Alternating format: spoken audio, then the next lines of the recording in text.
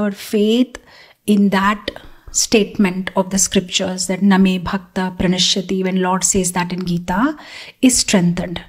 But on practically, when we see, okay, I also prayed to Jagannath, but this never happened. I also had it, but he never protected. So, so does the Lord protect only his pure devotees? He doesn't protect the other normal, ordinary devotees like us, the sadhakas. No, he protects. The only thing is, we don't know the definition of protect. So I give you a simple acronym protect. P R O T E C T. Protect. The Lord protects. Sometimes the Lord protects personally. P for personal.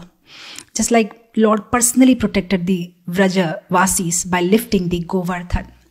Sometimes Lord protects by his representatives. R, you know, in protect R.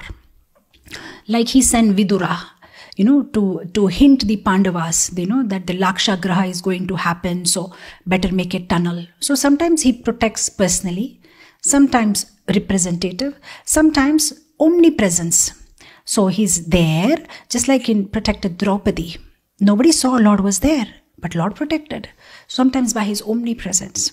So P R O T Sometimes he protects by his teachings, just like he protected Arjuna by narrating the Gita. So he's protecting us by his teachings. When we hear scriptures, when we follow the rules and regulations, the four rules and regulations, we follow the niyama, the nishedha, we read scriptures, we chant. So by his teachings, he's protecting us. If there was no teachings, we would have been drowned in this material ocean, not knowing where to go. So P R O T E. Sometimes he protects by empowering empowering us. He may not directly intervene, but He will empower us to endure. If not bring out a solution, we may somehow endure the situation. So sometimes He empowers us. So P R O T E C. Sometimes it's a combination of all. And the last one, protect. And sometimes it's a time we need to have patience. Sometimes we may apparently feel that Lord is not protecting me. I don't see any protection coming forward, but we just need to have patience because Lord has his own clock and he it's, sometimes we may understand it in days sometimes we realize it in years sometimes decades. But lord has his own plan. Like there is a saying na when lord fulfills your desire he wants to increase your faith. When he delays your desire he wants you to increase patience. And when he never fulfills your desire then you know he has a better plan for you so like that you know lord is definitely protecting but sometimes our definition of protection is so narrow.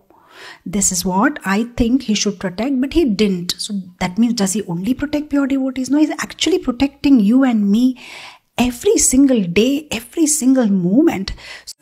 Krishna, Krishna, Krishna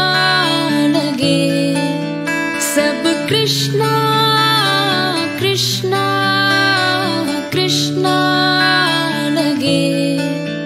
सब कृष्ण कृष्ण कृष्ण लगे। सब कृष्ण